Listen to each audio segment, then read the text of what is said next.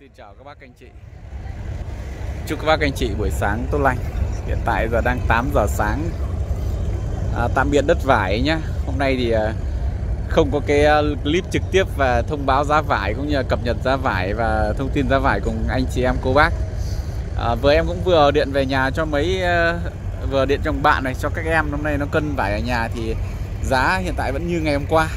Đúng vậy là cân hàng vừa vừa sâu xấu chung chung thì uh, đang là trên dưới 20.000 còn vải đẹp thì vẫn trên dưới 30.000 tại à, cầu Chét và ngã ba Tân Hoa các bác anh chị nhé.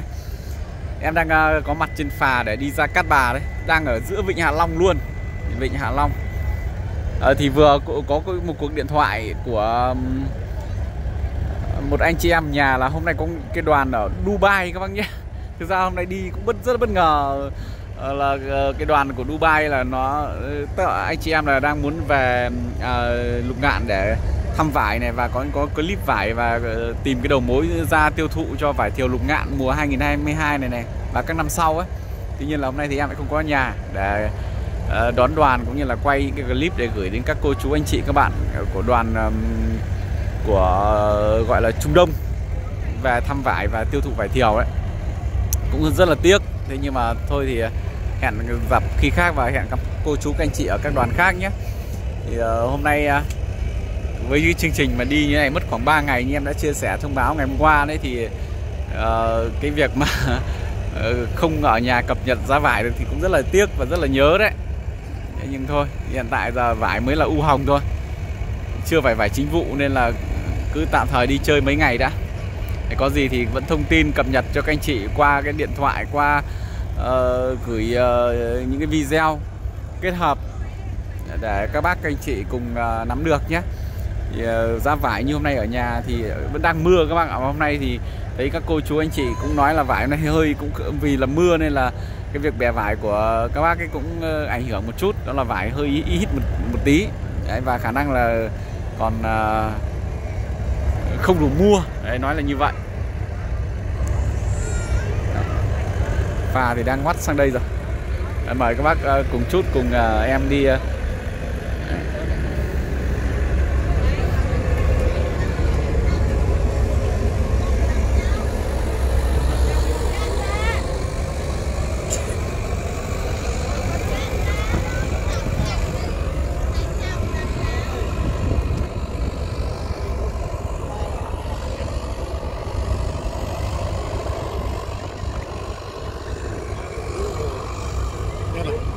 còn tầm khoảng uh, tiếng nữa.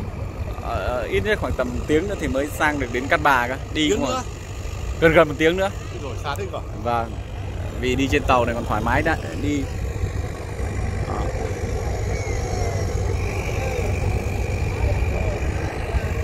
Với cái tốc độ như thế này thì uh,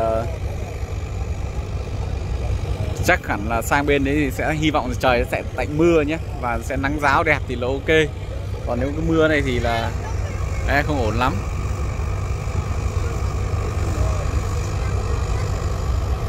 Đấy, còn không biết là giá vải cụ thể ở nhà và các địa điểm cân khác thì như thế nào thì các bác cùng à, cập nhật nhé. Các bác anh chị em có thể comment ở dưới video để em có thể được rõ hơn. Ví dụ như các bác ở dưới Kim ở Phượng Sơn hoặc là ở Trũ ở Biên Sơn Kép và ở khu vực Tân Mộc nhé ở Lục Ngạn. Thì các bác có thể comment ở dưới video xem vải cụ thể giá ra sao nhé. Đấy thì uh, cơ bản là em cũng chỉ được cập nhật qua điện thoại qua một vài anh em ở nhà thôi.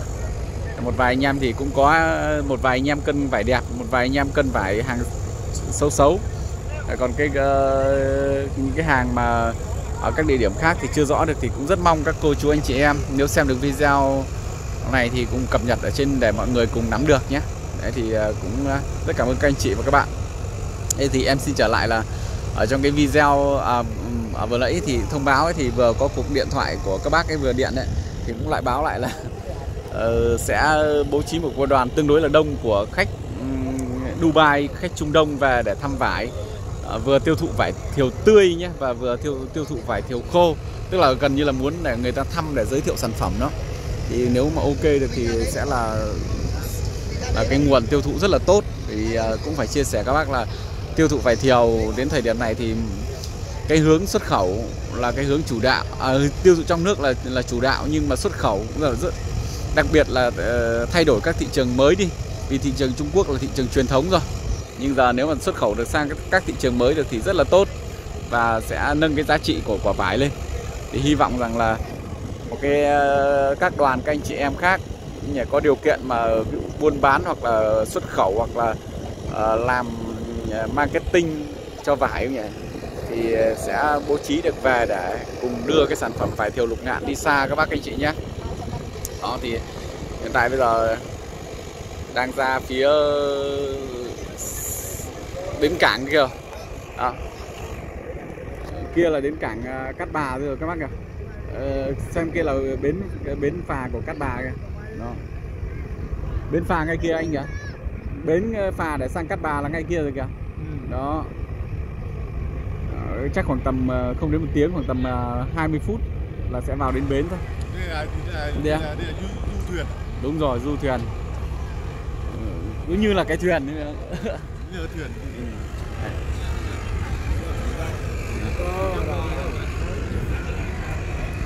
em nhờ cái bác ấy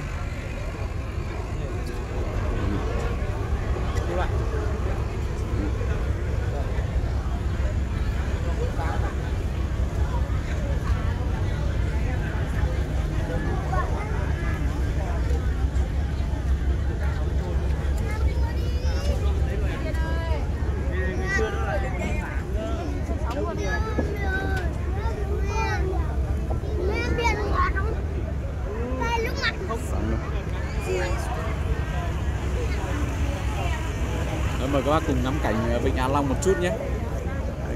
Chắc hẳn rằng uh, rất rất rất nhiều bác đã đi rất nhiều lần ở khu vực uh, Hạ Long này rồi vì rất là thân thuộc.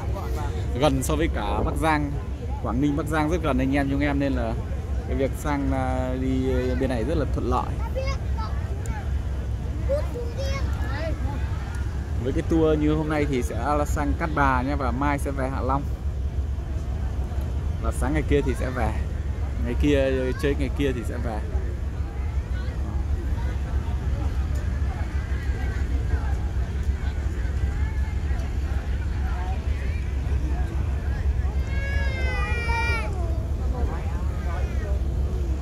Du thuyền.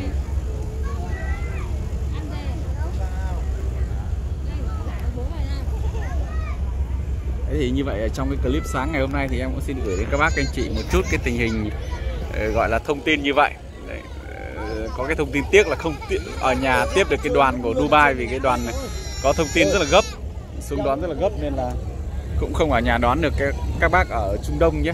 Đấy thì hy vọng rằng là uh, trong cái thời gian tới thì sẽ được đón được nhiều đoàn các bác về thăm Lục Ngạn Bắc Giang nhé.